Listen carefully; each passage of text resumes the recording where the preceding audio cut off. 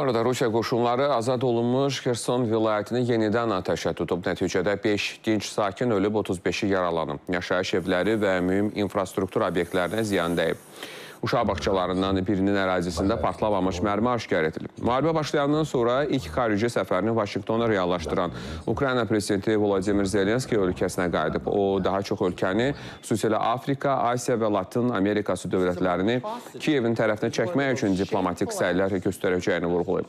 Amerika Birləşmiş Ştatları Konqresinin nümayəndələr palatası isə 2023-cü il üçün büdcə layihəsini təsdiqləyib. Layihə Kiyevə yardım üçün 45 milyard dollar ayrılmasını nəzərdə tutur. Öz növbəsində Rusiya prezidenti Vladimir Putin Tulaya səfər edib. Burada zirehli texnika və digər silahların istehsalı sexlərinə baxış keçib.